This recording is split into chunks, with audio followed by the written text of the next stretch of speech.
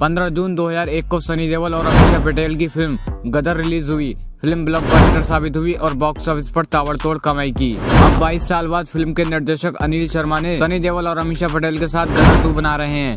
Film की shooting भी शुरू हो चुकी है। फ़िल्म में उत्कर्ष शर्मा होंगे जो सनी देओल के बेटे के रोल में होंगे। फ़िल्म गदर टू में एक बार फिर पाकिस्तान से जंग दिखाई जाएगी और जवान के रोल के लिए इंदौर के 200 जवान लड़कों को चुना गया है। ये सभी नौजवान इंदौर फ़िज़िकल एकेडमी इंदौर में रहकर भारतीय सेना की तैयारी कर रहे हैं। फ़िलहाल बासठ जवान फ़िल्म की शूटिंग कर रहे हैं। यह शूटिंग 22 दिन तक चलेगी। फ़िल्म में पाकिस्तान के बीच लड़ाई का सिक्वेंस फिल्माया जा रहा है। इसी के लिए इंदौर के इन नौजवान लड़कों को साइन किया गया है। ये सभी मजदूर और किसानों के बेटे हैं। 22 साल बाद एक बार फिर से भारत और पाकिस्तान की जंग गदर टू में दिखाई जाएगी। खबरों के मुताबिक तारा सिंह, यानी कि सनी देवल के बेटे जीते और उत्कर्ष शर्मा सेना के जवान के रोल में होंगे, जो युद्ध के बीच अपने बेटे को बचाने के लिए सनी देवल एक बार फिर सरहद पार करके पाकिस्तान जाएँगे। फ़िल्म गदर टू में सेना के अफसर का किरदार निभा रहे जितेंद्र बोरपाल ने मीडिया से बातचीत के दौरान बताया कि एक साल पहले फ़िल्म के निर्देशक अनिल शर्मा अपनी टीम के साथ आए थे और कर्नल से मुलाकात की थी। उनका कहना था कि जो बच्चे यहाँ सेना की तैयारी कर रहे हैं,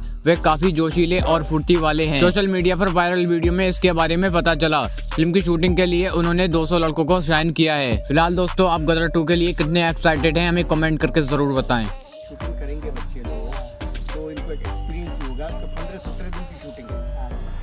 तो सुबह से लेकर रात तक या पूरी रात तो एक अनुभव भी होगा। और पूरा इंडियन आर्मी के भी जवान होंगे उसमें सौ तो